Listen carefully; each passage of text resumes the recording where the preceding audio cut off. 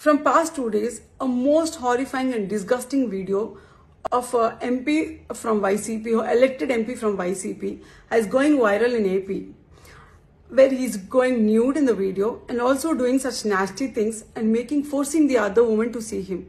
Is this less than a rape?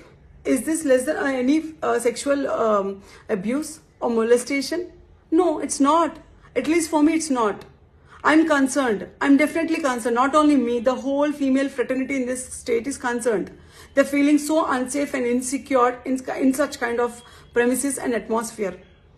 And we are so frightened, frightened by the fact that Mr. Jagan Mohan Reddy or neither of his leaders till now took a stand on it, commented about it, condemned it, or took any action against him.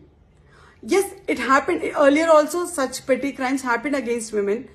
And we are surprised to see they are being promoted. Those MLAs are being promoted as ministers. So this is this is where we are uh, existing in.